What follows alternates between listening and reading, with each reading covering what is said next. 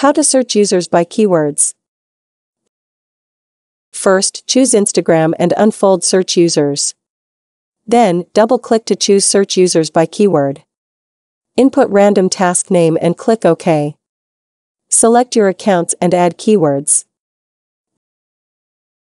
Next, click Run and there will be some options. You can choose to run the task now or schedule it. The task will run in the background and the color will turn green if success. You can check your statistics here.